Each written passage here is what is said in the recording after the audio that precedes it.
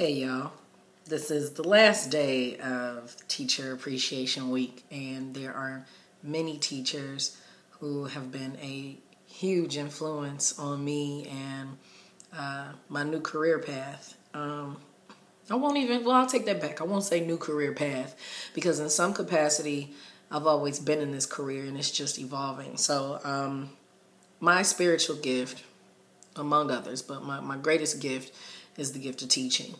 That's not just teaching the word, which is scripture of the Bible, but also teaching in other capacities. So, um, some of the teachers I'd like to acknowledge.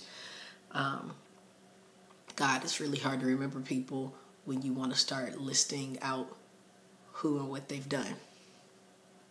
Um, my grandmother, for being the first Sunday school teacher I ever had. Uh, she taught me prayers and a lot of things that my mother, God rest her soul, uh, continued to develop and instill within myself and my younger sister.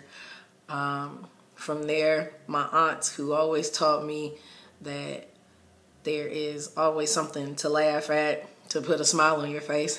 One of my aunts also really uh, increased my imagination by making Mrs. Butterworth bottles speak to me when I was a little girl. And that counts as teaching, definitely, because I wouldn't be where I am now if it wasn't for the capacity to dream big. Um, Mrs. Washington, Lavinia Washington, she was my first grade teacher, and she was amazing. She had to deal with me in her class having to do asthma breathing treatments and all kind of extra things that she went above and beyond to make sure I was healthy and able to participate with the students in my class.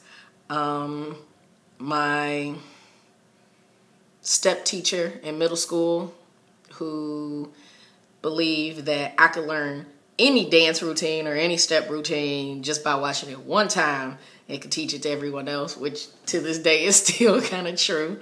Um, to the amazing teachers at Cass Tech in Detroit. Um, wow, some of y'all I'm still very, very much in touch with. Um, from No More Sass in my class, Senorita Mr. Dunmore, who I feel like I learned nothing from in Spanish class. Um, he always believed in my artistic capacity. And every time I came back to visit Cass, he always made an effort to say something to me. And despite my feelings about him, uh, I appreciate you. Um, Miss Green, Mama Hooks in my book. Y'all know I love her. There's nothing to additionally say past that. Love her to death. Um, there was a Miss Thomas who I'm not in touch with anymore, but she believed in my creative writing capacity, and she'd be pleased now to see all the things that I've written. Um, Mr. Otulakowski, the one teacher at Cass Tech who would straight up curse me out because I would just go against the grain to frustrate him. Um, I love you too. and Mr. Anthony Smith, the dance teacher at Cass, uh, you, God gave it back to me. That's all I can say without tearing up. Um, to Miss Keisha, Miss Camille, two of my favorite dance teachers in Detroit. To oh gosh, I don't remember any of the teachers at Bowling Green State University. There's probably a reason for that. But I do remember one teacher I had for political science who went ham on us about an exam. He left an amazing impression on me.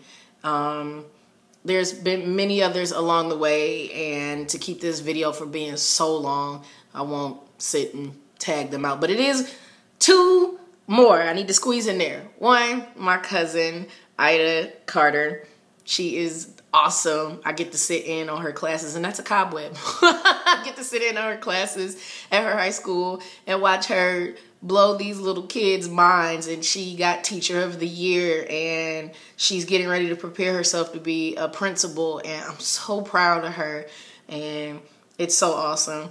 And finally, uh, Ejin, she Seonsaengnim, my Korean teacher, for taking on a little black girl who wants to embrace a whole nother language and be able to go halfway across the world and teach English and share God's love with those kids. So if you're a teacher, you are impactful.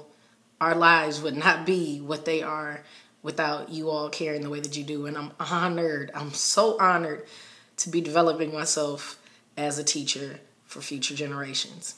I love y'all. Bye, y'all.